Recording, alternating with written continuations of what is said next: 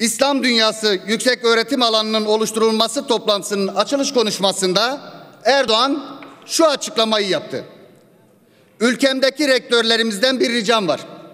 YÖK Başkanımız ile de bunu konuşuyorum. Allah aşkına şu yardımcı doçentlik olayı nedir? Bunun birilerini oyalamak için yapmışlar. Bu gerçekten ilmiye sınıfına bir paravan engel oluşturuyor. Bunu aşmamız lazım ve aşacağımıza inanıyorum diyor. Böylelikle yardımcı doçentliğin kaldırılması gündeme giriyor. Aslında AKP Genel Başkanı bu tasarıyla ne demek istemiştir?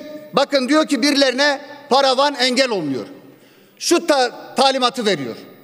Bizim arkadaşlarımızı hızlı bir şekilde yardımcı doçent yapalım, doçent yapalım, profesör yapalım.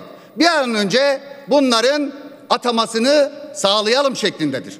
Öğretim üyelerinin ihracından kaynaklanan bu ülkenin değerleri sadece bir basın bildirisine imza attıkları gerekçesiyle kapı önüne konuyor.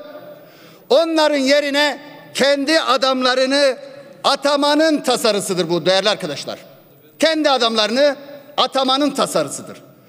Yargıyı teslim ettik, yürütmeyi teslim ettik. Gelin bari milli eğitimi teslim etmeyin. Ülkenin geleceğini karartmayın diyorum. Saygılar sunuyorum. Teşekkür ederim.